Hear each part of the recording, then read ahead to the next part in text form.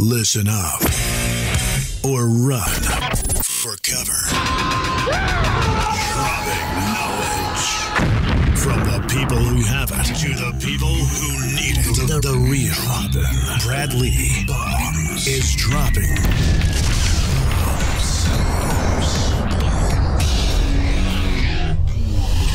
What it is, Brad Lea back again with another episode of Dropping Bombs. Today in the studio, folks, I got Matthew Januszek. What's happening, Matthew? How you doing? Now, for those of you that don't know Matthew, he's the co-founder of Escape Fitness Equipment, which is probably in a million plus gyms and organizations and people's closets. No, just joking. you're main you're mainly in the big, you know, the big gyms and you know, uh, Lifetime, um, Equinox, all the big fancy ones. So you're the equipment manufacturer. Yeah, yeah. We're in most mainly commercial. Like we do, you know, probably there are probably products of ours on uh, in people's closets, but predominantly it's it's B two B. UFC gyms, Absolutely, yeah. you know, anytime, Snap, Crunch, all of them, or and if and if not all of them, most of them, Absolutely. most of the good ones. Yeah, the good ones. and so, but but you're the manufacturer. In other words, you you create the equipment that they're using to do personal training and and get people ripped. That's right. Yeah, we design the equipment, we manufacture it, and then we we sell it either directly or through distributors in other parts of the world.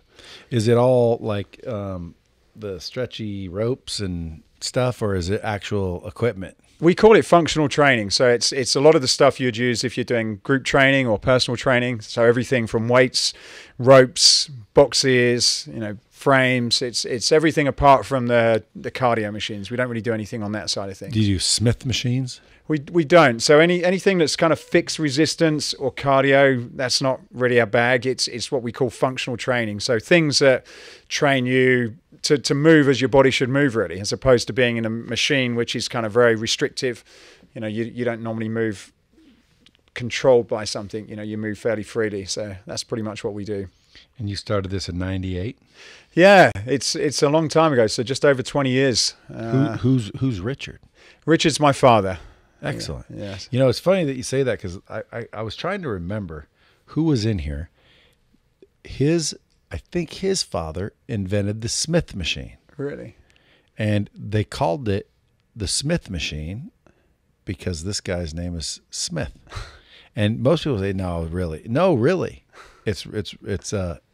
it- he told me the whole story, but the Smith machine is like you know what the Smith machine is. Absolutely. Yeah. Yeah. like dude the smith machine is named after smith That's did you did you know that I, I didn't know. I always always wondered why it was called the Smith machine, but now I know. And you, you actually met the son of the guy who it was either the son or the nephew but there was a story and it was a legit story because i looked it up but uh, this guy was running around uh, in the beginning of the world i think joe joe gold or you know somebody at one of the clubs you know he was trying to sell the machine to. And so he goes in there and places it in there for a few days. And the guy comes in and he says, Go get your Smith machine and move it over there.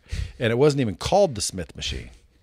But it- the guy's the guy was Smith, something Smith. So he's like, you know, go grab that Smith machine and get it over there. And they just called it the Smith machine. it's crazy. But I'm but the reason I'm asking is because man, I want to buy good quality stuff for my house. I'm tired of going to a gym. It's just I'm a time guy. And if I have to get up, get dressed, dr- get in my vehicle, drive down to the gym, do what I do at the gym, drive back home, the drive there, the drive back, and a little bit of in between, man, that's 30, 40 minutes I could probably save if I could just get up in my skivs, walk out the whole nine, just get, just get, get rocking right of my house. Yeah. I Yeah. mean, I- but, but good, but, but good equipment. Yeah, yeah. Well, we can certainly talk about it afterwards. But I, I think you're right. You know, I, I think it's really important. One of the things, you know, I've, I've worked out for over 30 years. And, you know, as I started my business, I began to realize how important fitness is. You know, you think about it, oh, okay, well, I need to do it. I need to keep in shape. But one of the things I don't think people realize is how sort of how it affects you know you mentally as well and your ability to be a very good business owner or entrepreneur because you know you compare you know I, one of the one of the clients that we work with talks about you know if you're a if you're in the NFL you know, if you think about how many hours they're on the field playing their game. I, I, I, think he worked it out. You know, in a season, it probably equates to like three three days worth of playing time and about 16 hours worth of actually activity. And if you look at how much training they do as a you know pro, pro NFL sports you know athlete, and then think about business people. You know, 330 days a year, they're on it, full speed ahead, having to make decisions, having to lead people, influence all kinds of stuff. And how much time do you actually put into the thing that's driving that machine, you know, the, the money maker. And, and it's very little. And, and so I, su- I suppose, you know, being able to, you know, fit exercise or workout into your day is extremely important. So, you know, whether that's having something in the office or at home or however it is, you know, you really need, you know, it's probably one of the most important things you can do as an entrepreneur is to be able to sort of get, you know, your fitness and nutrition right if you want to be successful over a long period of time. That bomb you just heard, that means you're dropping bombs. and it, because it's the truth, man, and people need to pay attention to that. A lot of times, you know, people ask me, how do I get ahead and how do I win and how do I succeed and how do I make more money? And nobody talks about get your fat ass in shape. You know, you get more energy and it gets you more this. And, you know, at the end of the day, man, fitness and health is more important than money. Yeah. Because if I said to you, listen, I'm going to give you $30 billion but you're going to be bedridden, nauseous, and n- not even able to move. You're not going to want the money over that. No. You you want everybody knows that health and fitness is better. Now again, I might take a billion dollars and be a little chunky, but as far as health goes, health, energy, vitality, that's the most important thing. That way you can run around with your kids, you can go on trips, you can make decisions. So folks, you guys better pay attention to that. Yeah. So in 98, you and your dad says your bio here says you turned your passion into a business. Why was it your passion? Were you already fit back then or something? Yeah, I was a junior bodybuilder. Ah. Um, I was uh, daytime working for my grandfather in a dental business, and in the evenings I was uh, working in nightclubs on the door as a security. And I, I kind of did that, one, because I weren't earning a lot of money at the time, and two, it kind of gave me a way to go out, meet girls. Um, without having to pay any anything for it, so I kind of I was doing that at the time, and, and also it was an opportunity to be around other bodybuilders. Um, so so you know I bummed around in my in my teens, and then as I got a bit older, I thought I need to you know come up with some kind of career because I'm I'm not really heading anywhere. And so I I sort of I was in the gym sitting on the corner of a bench press in between the sets, and um, remember sort of looking over at this these weights in the corner, and. Um, and I, I it, it, sort of got me thinking about this this um, conversation my father and I had because he, he was from Poland and he always had a belief that you know Poland was going to be a country which was going to open up. You know, at the time, it was a communist country, and you couldn't really trade with it. And he had a, had this vision that the country was going to go open up, and there would be an opportunity to do business there. And on the side of these big weight plates, it had Poland.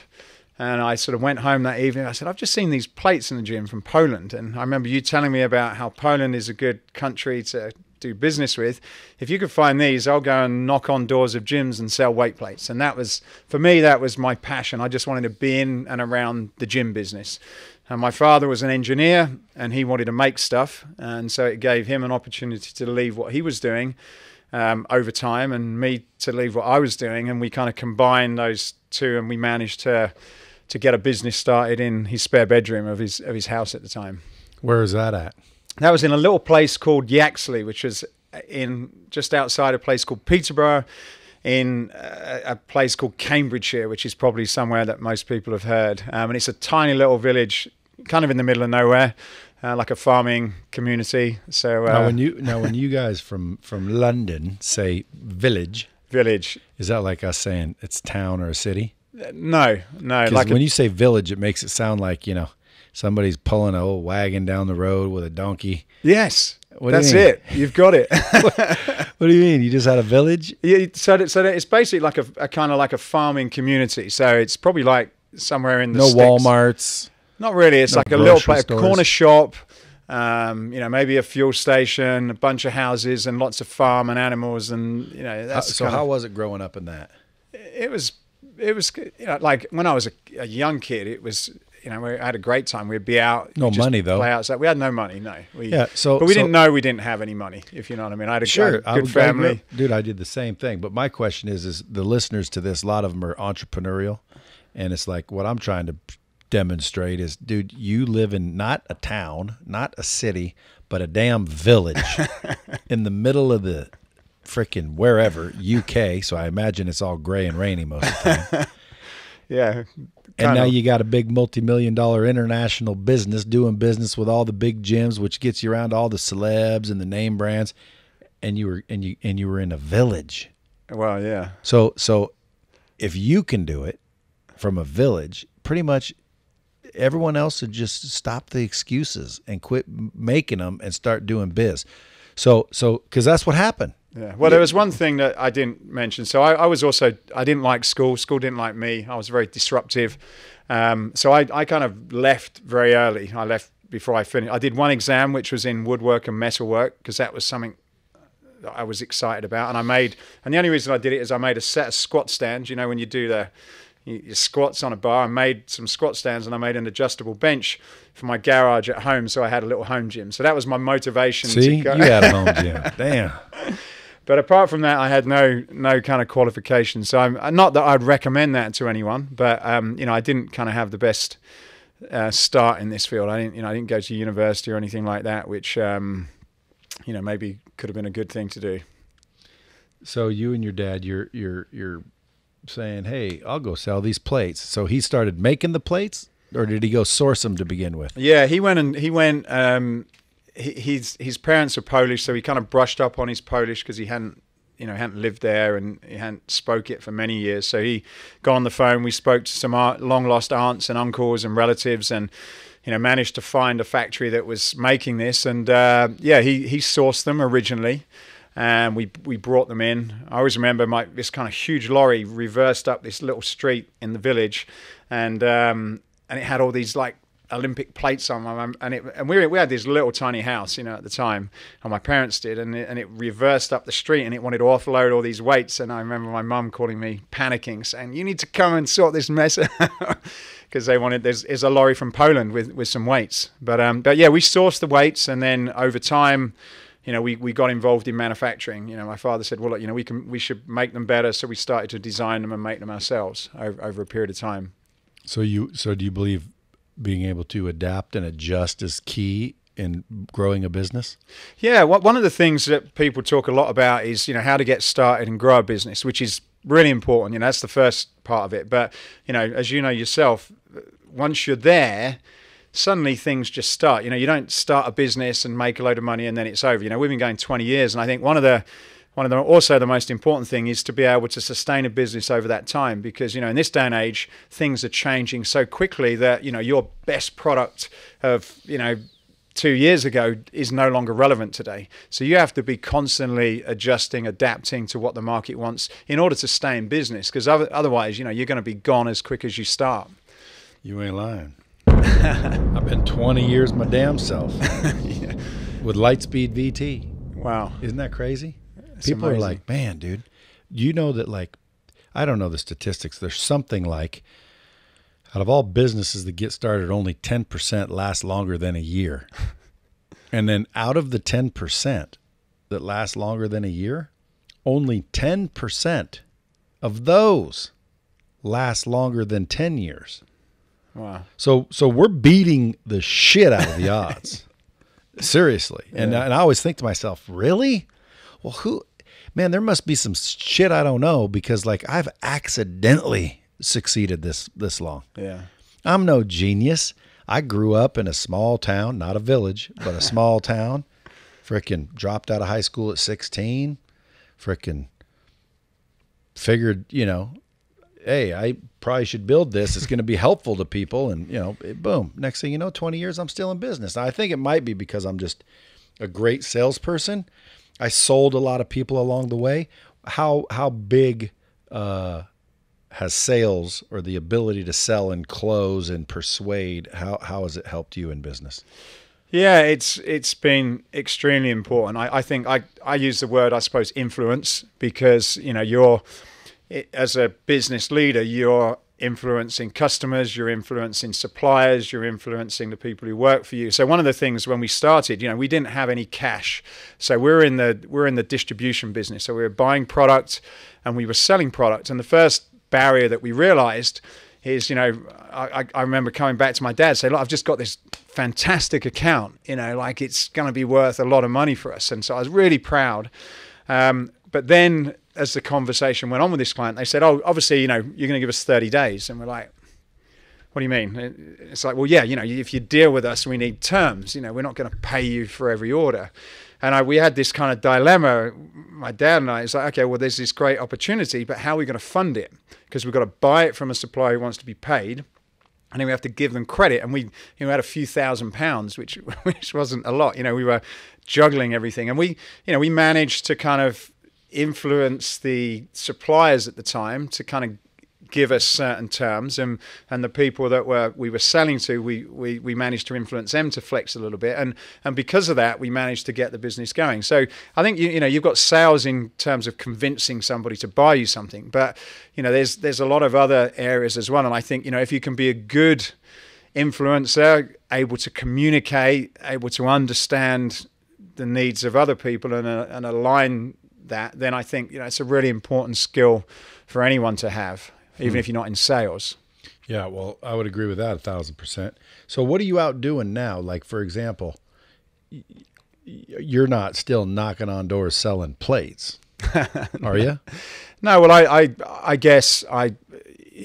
One of the things I like to do is I'm still very in touch with the market, the customer. Because yeah, you're so, in like 80 countries, aren't you? Yeah, yeah. So I'm I'm out to I'm out in Bangkok next week at a big event, and I'll be meeting customers. I'll be talking to them. I'll be asking them questions. I won't directly be selling to them, but I'll be, you know, working with our sales teams on that side. So so I guess for me as a leader of a business, you know, I I feel, you know, you can either be a leader who just sits in a room and you know lets other people do that. Or you can be sort of out you could be the face you could be talking to people. And you know my style is I, I want to be out in the market I want to know what's going on I want to be talking to the people that are buying the product and not just the owners of the company. You know I want to be talking to the people on the ground floor what they think because these are the guys and girls that are really on the cutting edge. You know they know stuff and problems before the owners of the company no problems. You know, the people who work. Well, that's because they're the ones so- causing them.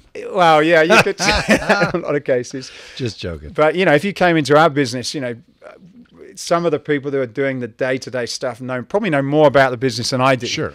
And and and you know that's a lot of the situation with our customers. So, you know, I want to make sure that we're not just talking to the people who are running it, but the people who are working in it. And I think that makes us as a company more responsive and more able to kind of be, you know, anticipate where the market's going next. So basically, user feedback's key. Yeah, absolutely. Because the person running the gym's not the one using your equipment. Mm-mm. So they're just saying, hey, yeah, yeah. And then the ones using your equipment, they're the ones saying, hey, man, the, the handle's too short. Or, man, these things are too heavy to move. It'd be great if they were this. Yeah. And then you just keep modifying and adjusting the equipment based on user feedback and you stay cutting edge. Yeah, and and you know, it's an interesting thing about innovation and being at the cutting edge because you know we have this conversation a lot. As a company, innovation is is is key to our business. But with innovation, you know, I've, we've learned the hard way. You can be too innovative. You can be too ahead of the curve. And the problem is, is you probably know this quite well. What you do, you know, if you're too ahead of the curve, you're you know there's there's two risks one is that you have to invest a huge amount of money to educate people that this is a problem they don't even know that they've got at the same time, unless you've got a lot uh, you know behind you to, to fund that education people can look at what you're doing adapt and come on quite quickly and overtake you yeah. um, or you can just you know it's just years, three or four years too too too far ahead of everybody else, and it never happens. So you know, you just got to be on the cusp of innovation, so that people are you know you're just ready for them when they're about to take that next step, and that's very difficult to you know. I don't know whether you can write a book about it, but if unless you're in touch with the market, you can't get that feeling for where you need to be. Yeah, well, I was at least ten years ahead of my time. Some people say twenty. I mean, when I when I created this company, nobody was training online. Internet was barely out. I started knocking on doors saying, "Hey, listen, let me show you how you train online." They're like, "What?" I'm like, "Dude, you got to train online." Da da da da. It's like it took me five to eight years before I really got anyone to even do it. and then another five to eight years for them to actually agree that yeah, I guess it is better. And now, twenty years later, boom, everyone's like, we should be training online. well, no shit. and and not only that, people are just now, well, you know, we should be using videos, not voice over PowerPoints. Well, no shit. And guess what? In another five years, people are going to go, hey, and these videos should be able to be interactive to where they can adapt. No shit. So it'll be 20, 25 years, and that's a little bit too innovative. Yeah. Meaning, dude, most people wouldn't survive. If I wasn't such a unstoppable rhinoceros minded force, I would have given up, dude. How do hmm. you go eight years making no money? How long did it take to you guys to start making any loot?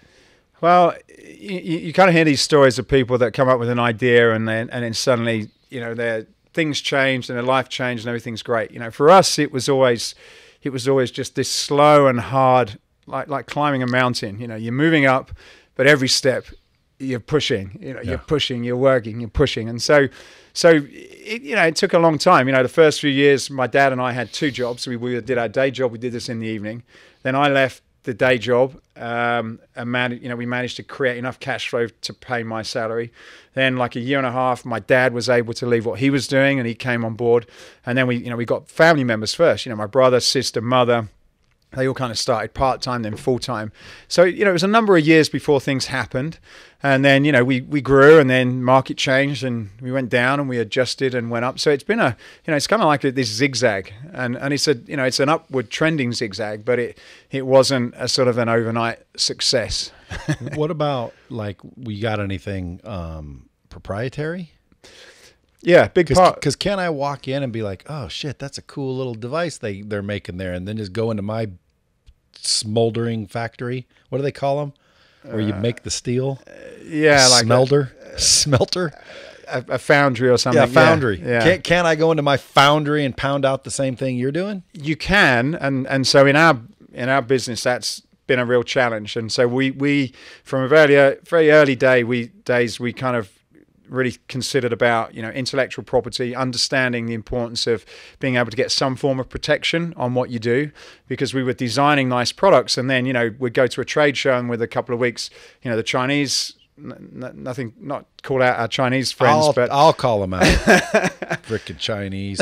hey, there's nothing wrong with the people. No. But at the end of the day, it's the rules. They know there's there's nothing we can There's- do, so they just copy everything. And Yeah. and by the way, I mean, I would imagine there's a lot of Chinese inventions that get copied by other Chinese people because of the rules there. Yeah, there's there, there isn't any rules. So the way we what we learned over time, and we tried to sue Chinese companies and lost thousands and thousands over it. can't. We yeah, it's it's impossible. So what we learned is we we would we would get some form of protection in the key markets around the world, and then we would go for the big fish. So if you know if anybody that was a serious competitor would copy it, then we would go into action because they had more to lose. Than, so you protected everything We- with, we with protected copyrights, everything. patents, what? pat, cop, main, mainly patents, design registrations.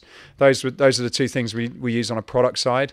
Um, so let's go back to Smith machines. yeah, I know Hammer Strength makes a Smith machine.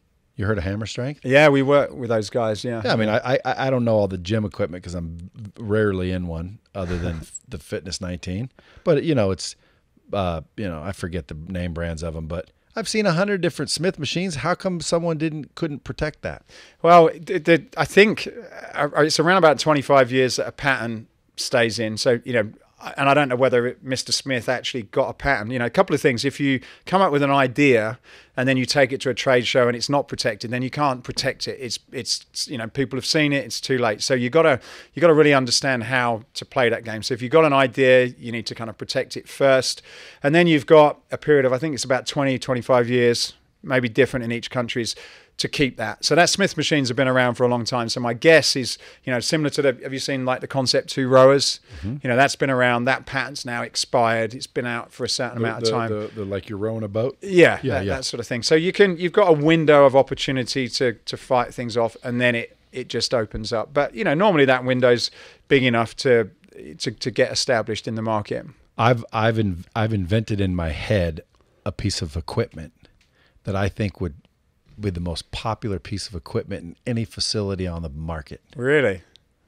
Well, don't tell us online. Tell me I- offline, and I'll. I, I, the name is the Spider. The spider. and I'll explain offline. okay. It's the spider. Like everybody would have a row of spiders. Wow. I'm I'm very interested now. You've got you've got my attention. Well, have you ever seen have you ever seen the movie The Jerk?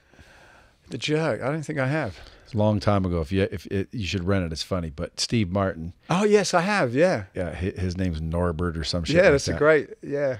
So he says, you know, the guy comes in and his glasses. But the, so the glasses them. that flip up and they no, it's got a thing right. Oh, that's right. And they go cross-eyed. makes him go cross-eyed. so he gets sued. So he loses it all at the end.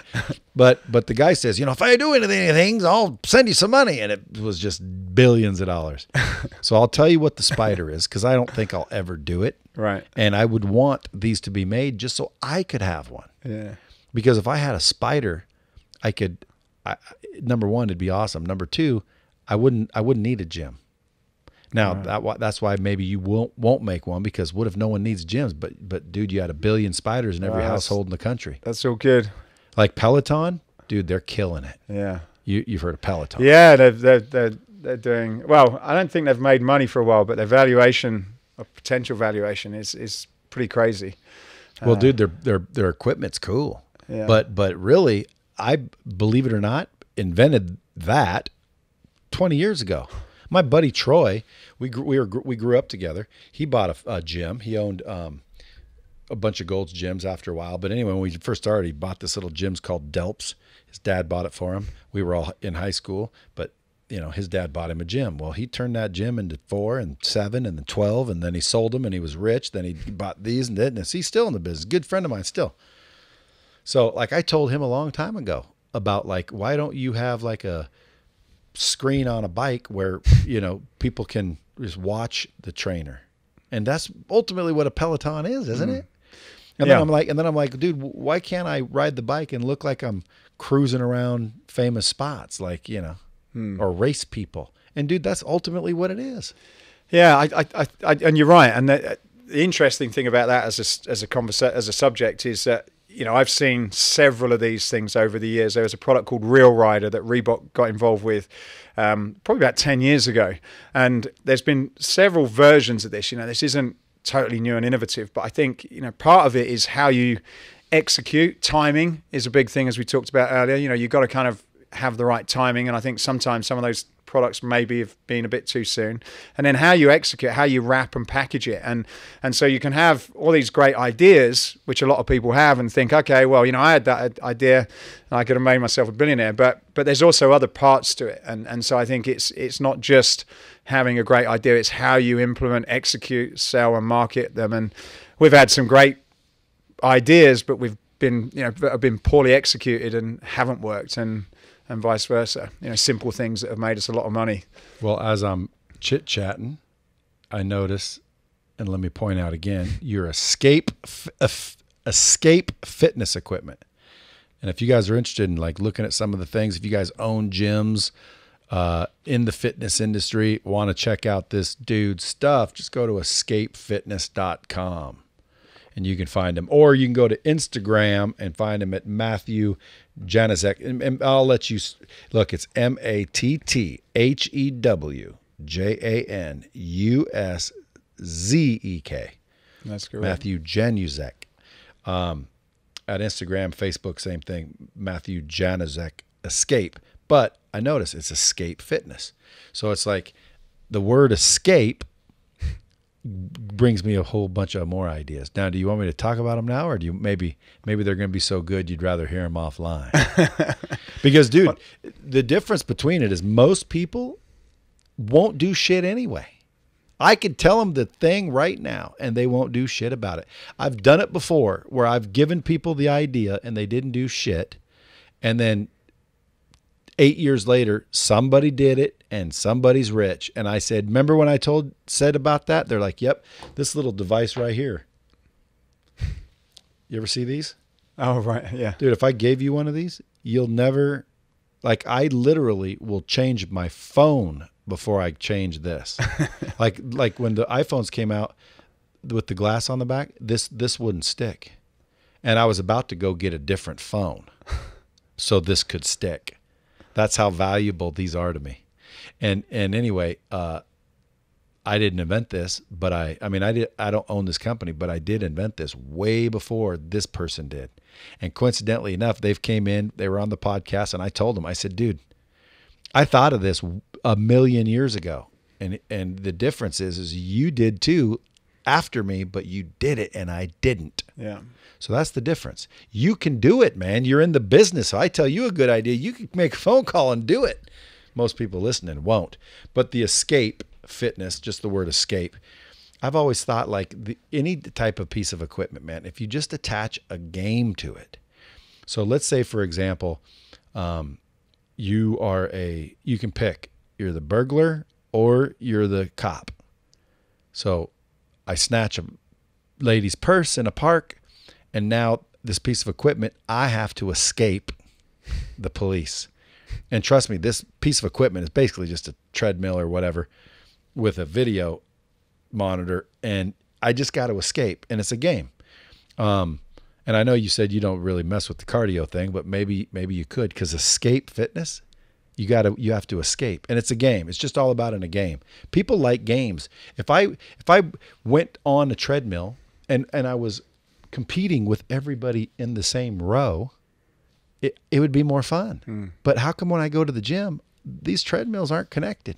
Well, that's the magic of Peloton. You know, the the difference is it's not just a screen. You know, you are actually competing with other people in the class, but also around the world, which is very clever.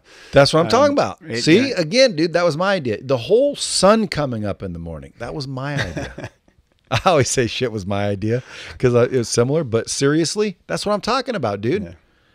Why don't you do something like that? Yeah, I think it's a great idea. You know, I'm, I'm I represent probably the a small percentage of people that just enjoy working out, but in reality, 95% of people don't. It's difficult. It's hard. It's it's painful, and so you know, having ways to make it more fun and engaging and interesting is what it's about. We we try and do that with our products and. We look at helping trainers to create fun and engaging classes, but being able to go that next level and, and like you say, you know, create these scenarios where you're actually absorbed in the activity as opposed to, or sorry, absorbed in the experience as opposed to the activity. I think is is certainly the way to go. Well, yeah, because when listen, this is just my opinion. When you're a fitness equipment company, you don't have facilities. You you rely on facilities and you rely on their members. Well, wouldn't you love if everybody walked in tomorrow and said, "Do you guys have any escape fitness equipment here?" No? Oh, I'm sorry. I'm going to go to a gym that has escape fitness equipment. How would you like that? Yeah, that'd be that'd be pretty cool. Exactly. like then you become huge because people will be calling you, begging you to put your equipment in their facilities because man, people are coming in, they aren't signing up because I don't have your shit. They need a spider, you see. That's what it is. But at the end of the day, dude, listen, it, it that's a powerful brand. If I walked into a gym and said, uh, "Hey, how you doing? Hey, welcome. Uh, you want to take a tour?" No, I just want to know. Do you have Escape Fitness equipment? Oh, you don't? Okay, thank you. What? What? What? Wait, where are you going? We have we have Hammer Strength and we have TRX. Is it called TRX? That thing, that big rack. See, that's my point. Like, dude, I've never walked in and said, "Hey, I need TRX." But if the trainers, the TRX trainers, get the PT guys to understand how to use that freaking stupid looking rack, and then a, and then they train their people on the rack and get them, let's say, addicted to a TRX machine, that helps TRX brand. Mm-hmm. That helps the equipment manufacturer. But I've never ever seen anybody working out on this TRX machine that's in our gym. And it's like, dude, what do you have that thing here? And I'll bet you eventually it'll go away because nobody's using it. Mm. Why is nobody using it? Because TRX isn't making sure. Why is TRX not making sure? Because they don't have enough people to probably facilitate all of the training and and brand building necessary to train every new hire to every you know t- person that's turning over and eventually they just can't keep up so now there's a machine there that no one knows how to use and guess what it's not going to be there long if that continues so if i were trx or escape or hammer strength or anybody and again, if I'm making a bench press, dude, no one needs. We all know how to use a bench press. But what what do you do with those straps on that TRX machine? Someone needs to show me. Well, there's an opportunity. I ask, someone has an opportunity to PT me. Escape Fitness Equipment. That's just a cool name. It's better than TRX. Why? Just the name alone. Escape. Wh- Why escape? Why escape? Well, interesting story. So when when I first decided to uh, start my own business, this was prior to the weights. I had one of these crazy ideas, which was um, I had a girlfriend at the time whose father sold ladies' clothes on a market store, and um, I needed to earn some money. And you know, he had all these shops, lovely, beautiful convertible Mercedes cars, and I thought, well, you know, he's obviously in the right business, you know. so I remember talking to him and saying, like, you know, maybe I can buy some of your clothes and I can sell them. And and at the, my dad, uh, going back to the early conversation, he kept saying, you know, think about Poland, think about Poland. So you know, I wasn't the smartest businessman, but I thought, okay, well, he's making money with clothes. My dad said Poland. Why don't I buy some clothes from him and sell them in Poland? Okay, so that was kind of like a bit of a, you know, that wasn't one of my best ideas. So I, I had a had this Jeep at the time, and I bought all these clothes, these dresses, these jumpers.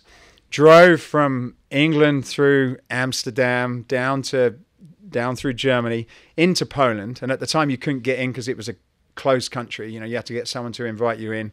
Um, gave them a few jumpers to bribe them to allow me to go in. And I, I, knocked on the doors of shops and to sell these clothes, which I managed to do. That really tested my sales skills because um, I didn't even speak Polish, but we managed to offload all this stuff. And so, so this the escape name was the name for the clothes. It was it was like to escape England, to escape where I was, this little village, to do something better. And then when we when we came up with this fitness idea, we'd already kind of printed the business cards, and you know I didn't want to print some more business cards. I didn't have a lot of money, so I just kept the name. and I, when I went to see people with the weights, I gave them the same business cards for the ladies' clothes, and that's that's stuck. You know, is that right? that's true. See, true story. That's funny, man. Have you heard? Have you told that story before? Um, probably not to many people. Probably no. That's because that, that it was a bit of a failure. You know, it wasn't one of one of my proudest moments. Yeah, but that's why people like drop bombs because people always write in to me and they're like, dude, freaking love listening to your shit because it's like a conversation. And like, how do you ask the questions you ask? It's like, well, that's, I don't know, through conversation. Like, I'm curious, why escape? Well, that's a good ass story. Um, but the cool, the name's cool. And to me, when I hear escape fitness equipment, it sounds like, what is that? Like, it, you have an opportunity to create a consumer awareness that could drive your brand because I want escape fitness equipment. I don't want to work out on the normal gym equipment. I want escape fitness equipment. And and and how you get that awareness and and market demand is to be unique and have a I mean again a, a kettlebell is a kettlebell. Like yeah, well we got kettlebells. Uh, who cares? Who cares what freaking brand of kettlebell it is? Well, we teach you how to use the kettlebell. It's a kettlebell, dude. I don't give a shit who's making the kettlebell. Just give me a damn good kettlebell. But if you go in there with a piece of equipment that only Escape Fitness has and it ties to a game of some kind or some sort of thing where I want that equipment because it's fun for me or it's you know, I enjoy the workout better or whatever. So whether it's a spider or whether it's a piece of equipment that you know you're running from the cops because you just stole a purse. And I know that's a bad analogy. You can come up with a better one but you're escaping someone after you. Have you ever ran from somebody? Yes. So have I. And trust me dude if they keep chasing dude you're still running you're not stopping. So if you could incorporate some sort of fun to where like the whole point of this piece of equipment is to escape dude, I think you'd have a big smash on your hand because people love playing games. People love competition. And when I hear escape, I'm I'm always thinking like, what what is it? Like I'm I'm I'm I'm assuming it's something, you know, cool mm-hmm. because obviously you're successful. So people are must be liking your equipment. But escape, that sounds like freaking a game. That sounds like fun. That sounds like something I want to do. Right. What what what what what do you have? What kind of equipment do you manufacture? So we will do we'll do everything from a lot of the strength and conditioning. We do kettlebells. See, do what's that? I don't get it. Why why why would I buy an escape kettlebell as opposed to a kettlebell kettlebell? Yeah. And well, by the way, is there another brand? There, there's there's other ones out there. Like we we focus from a product side, which is part of you know one part of our solution. But we we always you know, design's a really key part of what we do. So we'll you know when we first started, we would take basic dumbbells and weight plates that have been around for years with, with, where there's no design added to them and we just make them look a bit sexy you know we'd add some color So you're like the Apple of weight plates. so, so yeah we'd make the stuff look cool and sexy and it was amazing how many brands at the time just took what was from China. No no thought on design. You know look at your, your you know your laptop in front of you. It looks cool. You know you got a nice little apple thing. So we would just style things. And that was always you know that, that was the first thing that we did to differentiate ourselves from everybody else. In a lot of businesses, people tend to look at what someone else is doing and they'll say, "Well, I." I'm a, you know, I'm similar to those, or I do what they do, but I'm a bit cheaper. And their whole kind of business proposition is based on copying someone else but doing it cheaper, which you know is not really a strategy. And then if you ever head to head someone, you're, you know, you're always the copy version. So we've always tried to say, look, you know, we want to do whatever we can to be in our own space. You know, so if you see an escape product, you'll know it. You know, like you mentioned off camera, you know, you've that stuff was recognizable. You'd seen it before. If you see, our, we've got these big sort of tires that are colorful and made out of foam. They don't mess up your gym gear. You know, my mum can pick them up. She feels cool using it, and it, and it's fun, colorful, exciting equipment. And and it doesn't look like anything else that's on the market. And and you know, so that's one of the things that we always try and do. You know, why don't we, you know lead, do something different rather than trying to do a cheaper cop knockoff of what's out there. Uh, Well, been- well, now that you have your core business and your and your brand is recognizable and and everybody loves you, now you might be able to afford to experiment because you don't need the money. Now you can just like toy around with something. maybe. yeah. So, dude, It's it's a great it's a great idea and something I you know something I hadn't really thought of, but I, I like where you're going with it. and you can play play off the escape, dude. Yeah. Like, dude, I, I want to go to a gym. Like, I would be there at six a.m. If hey, if if the if, if escape started at six, I'm gonna be there at six. Sometimes I'll get in there about 6:20, 6:30. Why? Eh, you know, who cares? I'm just gonna get on a treadmill. I'm gonna go hit the weights. I'm gonna get out of there.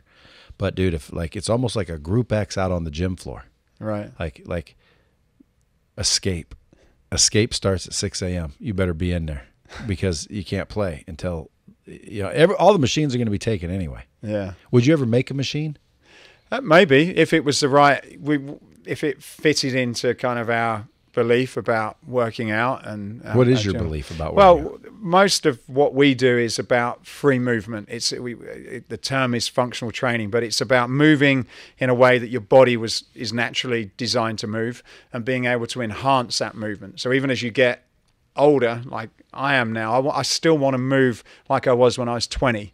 My body, you know, I want to function. I want to have that strength, that that power, that cardiovascular strength, and and I, you know, rather as opposed to having a machine that's kind of compensating for me, I want to move as my body was intended. So everything that we design is to is to enhance your ability to do that. Whether you're at the elite athlete level and you're doing it for a sport, or whether you're someone like my mum that just wants to be in you know in tip top shape to keep up with the grandchildren and and everything that's in between. You know that's our philosophy. So yeah, machines have their place. It's not in our range, but you know, certainly, well you never know you never know. i do know that you're you're in a lot of different top tier uh, facilities Uh, is that because your design's so kick-ass Yeah, I, I think we focus on great designs. We what we provide is is you know they're legitimate concepts, and uh, we really focus on the quality. You know, there's a lot of stuff we could do and we could make a lot cheaper by shipping it off to Asia, but uh, you know, I I use the gym. I use the gym a lot, and I know how you know the cheaper stuff will perform over time. So I'd rather say, look, you know, okay, we're not for everybody. Not everybody can afford us, but I know that I can go into one of the gyms with our equipment, you know, a year, two years time, and it still look good. You know, it still reflect the brand because, you know, I I am the brand. You know, I don't. I, if if you had a gym, I don't want you to come and see me in 12 months time we bump into each other and you say oh i brought that stuff from you and it's fallen to pieces Yeah. you know you know me that it's it's not a good thing to have you know i want you to say you know i've got your equipment it's bloody awesome you know and i want to come back to you again and that's a that's a, you know in business it's a tough decision because you turn away a lot of business and The- the- profits uh, yeah, the bulk of the market, it's very easy just to go out and say, like, let's copy what Escape have done. Let's do it a bit cheaper, source it in China. It's not quite as good, but let's do that and make a bunch of money. And uh, you can do it. Um, and we, you know, we know we give away a lot of business because we're not prepared to do that. But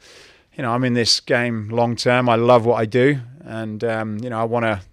I want people to tell them how great they think our products are, as, as, I'm sure you do with your products. You know, you want people raving about how good your, you know, your system and solutions are. I'd have thought. Absolutely, and design's key too. Because I was wondering, like, I wonder what's the big difference. But when you said yours looks better, dude, I go into the gym sometimes and I see the old iron. I don't know if it's iron or steel, but just the big heavy ass plates that look the same in every gym you go to. Even if they're, they're not the same, they're the same. And then you see the freaking well designed, you know, better looking things in life. And yeah, that's what people want. Mm. That's probably what started you being the, the, the, that's probably what started the success for you is you went in there with a better design, more functional, more quality. And that's why when you look at your client list, you're in a lot of the, like David Lloyd, that's high end, right? Yeah, most we that's is there a, is there a Barton, Dave Barton or David Barton? Yeah, I, th- I, think I'm not sure if they're around anymore, but um, there is a David UFC Fitness yeah. First, 24 Hour Fitness. Who else? Yeah. Now you're testing me. We're, we're in we'd be with Snap, and we've we've been a lot of ind- you know independent gyms. Um, they want quality stuff. That's why they're buying yeah. from Escape. And it's about the experience. You know, look at this studio here. You know, you could have probably done this for half the price, but it wouldn't. You know, it, it wouldn't have been the same experience. You know, you've got good quality mics. You've got you know your your design of this. It's you know someone's spent time and thought about, it, which is probably why you're one of the leading podcasts there is and people when they look at it they think this you know this guy even if they don't know you they think this is a serious dude. You know he's done it properly. And i think would they be wrong? And i think in any in anything in business you know you want people even if they don't before they know you when they step in and they you know see your business whether it's how you dress your business card. You know when i when i first did a trade show we had this we couldn't afford a booth. You know we had like a three meter by two meter which is sort of like six foot by four foot, small space. But and, and it was it was the smallest one on there. But you know what we did is I put all the money I had. I, I kind of created this crazy suit that I wore because that was really the only thing I could do. And I had this had these friends of mine, you know, make this really wacky suit that would stand out, and everybody said, "Who's that weird guy in the in, in the suit?" And you know, my my brochures were really high quality. So even though I even though I was really kind of smaller than anyone else in there, you know our philosophy in our business is how can we punch above our weight? You know what we can't we can't outspend our competition. You know i can i couldn't do more ads. I couldn't have a bigger booth at a trade show but i can out innovate them. You know i can be more creative. I can get everyone wearing some funky clothes that everyone's going to look at our funky clothes instead of the big booth which have spent hundreds of thousands. And i think in business you got to you got to be able to do that. And and the and the presentation and the first impressions is is really important. And you know you don't necessarily have to outspend directly, but you can do it in a. I believe you you need to do it in a slightly different way. Yeah, that's a good point, man. If you guys are listening out there, folks, you just made a great point. You know, if you can't outspend your competition, and a lot of times, especially when you're a startup, you can't. Well, then you better outthink them, and you better out uh, be more creative. Like if you go to a conventions to say, you always see the booth, the booth, the booth, the booth. What, what, what? You know, you're walking past them; they all look the same after a while you know you're giving out pens you're giving out the squishy stress balls you're giving out. Well you know what? Figure out how do you stand out whether it be the hot girl now everyone's doing the girls out front. How do you do it and how do you keep and stay fresh to keep that attention coming? Yeah. Are you the one that does that for the company or is it, or do you have a team now? Uh, yeah we've got a team. Like i i i like to be involved in that side of things. Um, I like to be, you know, making, you know, looking at all the different industries. You know, coming here today, you get inspiration from other places. And it's like, you know, what can you do without spending a load of money? Because it's very easy, particularly if you're a startup and you've been you know given money or you've raised funds it's easy just to go out and say right let's let's you know, let's go to the this company and spend a fortune here let's get a big booth when when you started i guess like i have and probably like you is you know every penny's your own penny and you've got to make every dollar equate to ten dollars. You know, a dollar can't equal a dollar if you if, you know when you start with yourself. It's got to equal ten. So it's like, what can you do? You know, one of the early days when we went to a trade show, we we hired these '70s outfits. Like, so I had a wig on. This is a fitness show. You know, I look. I was thinking. Uh, I'm gonna. I'm looking totally stupid. I had these big flares on and these long jackets, and all the guys on the stand were like, "Are you serious?" And we, so we all dressed up in these '70s outfits, and we hired a friend of mine had a nightclub, and we rented a nightclub. We put on a party where we charged people tickets to go in, and everyone in this whole place, all these, all the, all of our competitors, everyone went to this party, and we were selling tickets, and, and everybody knew about Escape, and uh, you know it was a, we were only been it's like two or three years in, but we were on the map, and we did all we did is got some secondhand '70s costumes, you know, did a deal with the nightclub where he kept the bar and we got free entry, and that's it. And I, I think in business, that's what you got to do. You got you got to think outside the box. Don't look at what everyone's doing in your space and trying to do a, a variation on that. You know, think totally left field. You know, come up with something different, and that's how I think you can compete against some of the biggest brands in the world. What if what if you don't have anybody on your team that does that, and you can't do that? Um, well, I, I, I guess um, you know, I no one taught me how to do that. Uh, you This know, is it's just a something like- mindset. Uh, you know, you, well, again, it's like sometimes I'll get on the phone downstairs in my sales room, and I'll close deals for people. And when I get off, they're like, "Dude, how did you do that?" And I'm like, "Dude, I don't know. I, I to me, I think it's natural. I think it's you know, how did you think of that? Well, how did you not think of that? But like when you just said, you know, 70s costume.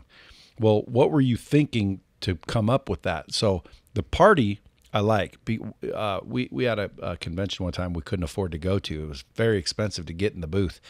So what someone said is, hey, instead of spending all that money on that, why don't we just do a party? Well, we threw the damn party, and same thing. We got a bunch of people that want to go to that party, and we closed deals at the party, and we saved like a ton of money. and I thought a party, like, dude, because people want a party. So when if you were to say, how did you think of that? Well, the method was, what are, what do people want to do? Well, at those conventions, they definitely don't want to go booth to booth to booth to booth. So booths are kind of a waste of money because I wouldn't want to go to a booth. Let's see, what do I want to do when I go to those conventions? Well, I want to get out of the convention and go to the parties that are that are there. And usually it's the big corporate ones or not. So let's throw a party. It was that easy. I mean, it just naturally let's throw a party. How'd you what was your method to say 70s and the party and all that? I think we had. I, I, got together a few people who in who were working in the business at the time, and we just we threw around a few ideas, and it kind of evolved. I I, I don't know how seventies came up. I think it was. Uh, I think it was just popular at the time. You know, these seventies parties, people like to go. They like the music, and um, and then we said, well, look, let's do the costumes because it was because we, you know, when we when you go to a trade show, you know, everyone's got to wear the same t-shirts and then it's like okay well that's going to cost us a bit because we've got to get t-shirts logoed and then it's like well are we all going to wear matching bottoms and we got to buy people trousers and then it was like a fitness show so we were looking at trainers.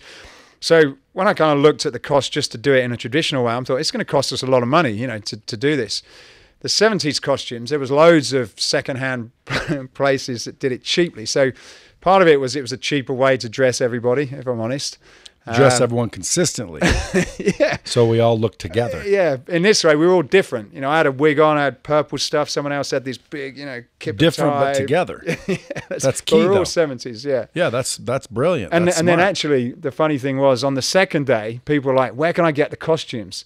And so we got the guy from the costume store to come to the trade show, and he brought a van, and he was then renting this stuff to the other people on the booth. It was it kind of took on a life of its own, and you know, it's one of those things that just kind of happens. And but it's an example of you know using you know creativity within your team to say, let's just think out the box. Let's just try not to do what everybody does, the squeezy stuff. You know, how many trade you could go to all these different industry trade shows and they're probably all or if you took off the name on the front they're probably all very similar aren't they they're very dry everybody's got a big booth bright lights you know kind of guys walking around in suits they're all the same you know there's I no call it- energy there's no fun there's no excitement I call it corporate It's very Yeah. oh, we got to be professional. We got to be corporate Oh hell no, you're not wearing that. We've got to be professional.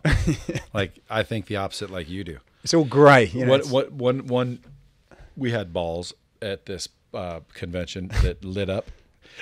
They're like bouncy rubber balls, you know, and they're see through, and and the bright lights are in the middle, and they turn on when you bounce them. right So I noticed at the convention the prior year that uh, there was a guy standing there and he would bounce a ball on the floor and it'd make you want to catch it. and then whoever was with it, you know, they'd go like this because they want to catch the ball. So this guy was bouncing them. So I said, okay, we'll do the balls this year. But uh, ours had the flashy light, so they were cool. And then on the printing, we we put Lightspeed VT on one side, and then on the other side, I said I wrote "We got balls." nice. See, people, a, a corporate company would never have done that. No. they're like, oh, dude, uh, what if somebody thinks it's like, dude, you gotta, you gotta be cool. You gotta be think outside the box. You got, you can't worry. Agree or disagree. Yeah, and and the problem when you get bigger is that you, if you're not careful, you can lose some of that stuff. You know, I know certainly we look at ourselves and say, you know, look back at some of the things we did in the early days when we weren't quite as well known, and, we took a lot of risks.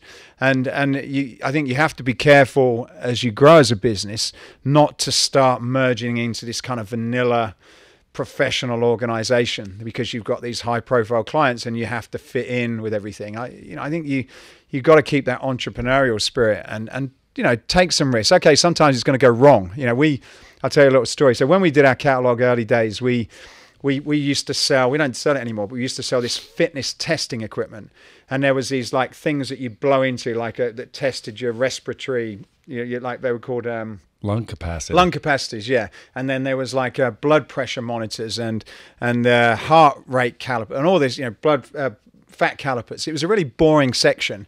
And and when you looked in all of our competitors catalogs they all looked the same really just boring fitness equipment. I used, to, I used to hate it, but we sold lots of it at the time. And so when we create our brochure, it's like, right, we need to do something different in this. We need to change it up. So I, I kind of had this idea. We went in, in London, there's this place called Soho. And it, uh, it's it's kind of like where you've got all the, the sex shops and the, the, the kind of peep shows and all that sort of stuff.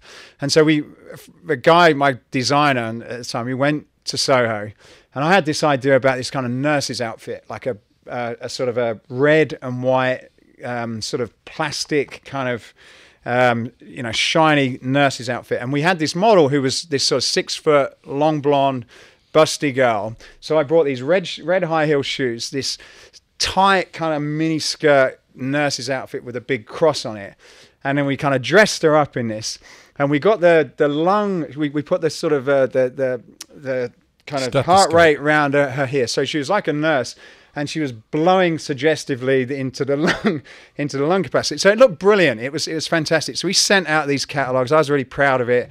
It was very out of the box, and we, and then we had all our customers like from the low from the sort of government site saying, "I was deeply offended by your, by your catalog," but. Did so it, you can make mistakes. Did it cost you any beers? It, it, it, fortunately it didn't, and we reprinted them and we got over it. But but even you know years and years after, people still talk about this. I can't believe you did that nurse's outfit thing. So you know sometimes at the time it was it was like my biggest disaster because I thought, oh no, I've blown that reputation, you know. But then afterwards, people sort of get over it, and then it you know it works out. So when you take risks, you are sometimes going to get it wrong. But I think you got to give it a try, haven't you? Otherwise, you're just the same as everybody else, and you don't stand out. Dude, that's a bomb. Now, now, out of curiosity, before we wrap it up, what are you doing here in Vegas?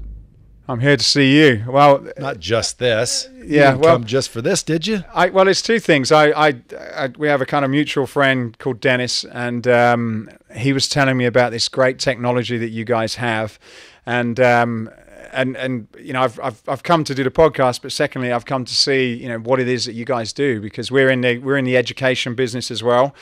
Our primary business is product, but secondary is we teach people how to use the product, and um, you know I understand that there's some really innovative ways for people to learn very effectively, and you know we're just you know we, we're not in that space yet. So I'm um, you know I'm here sort of checking this out.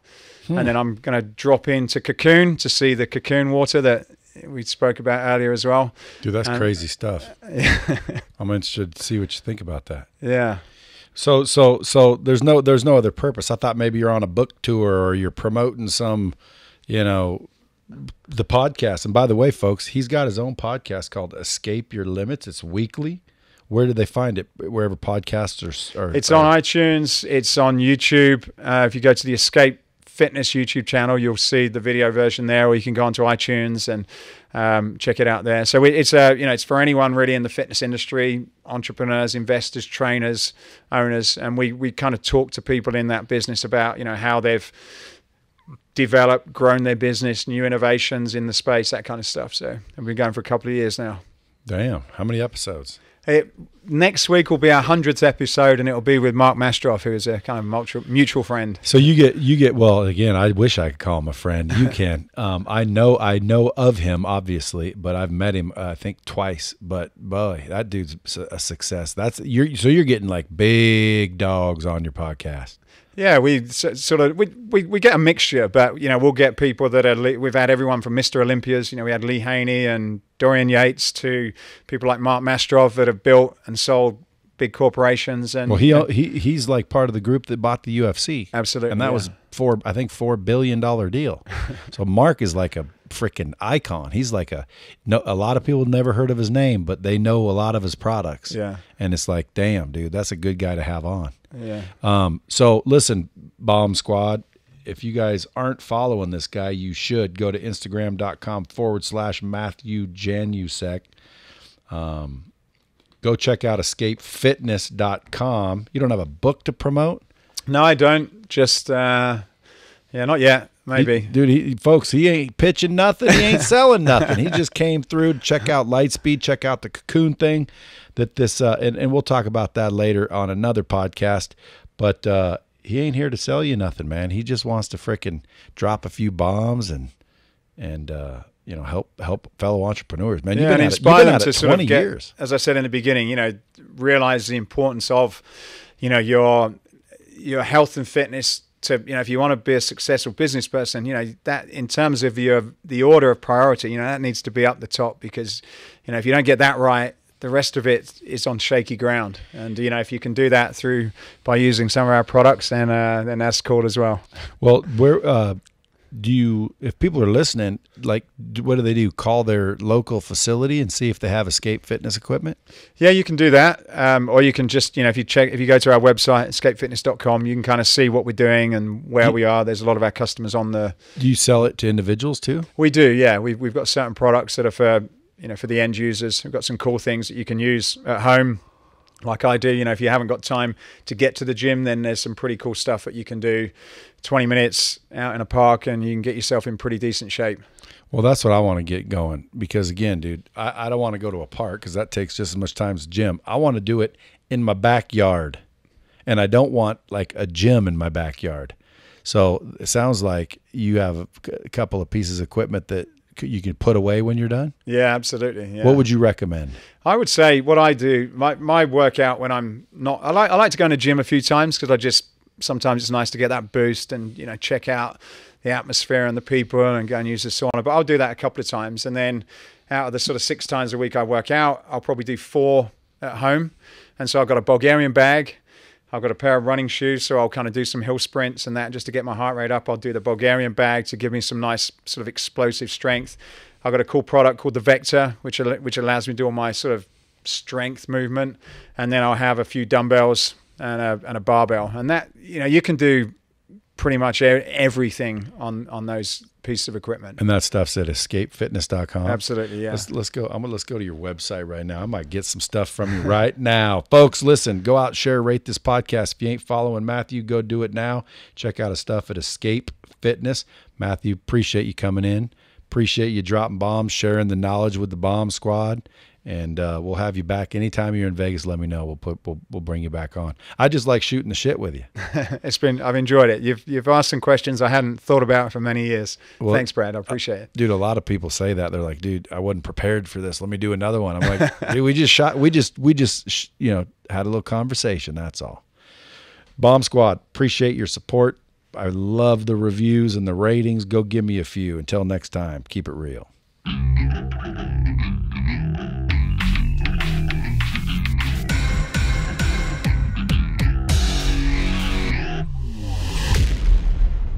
Awesome. That was cool.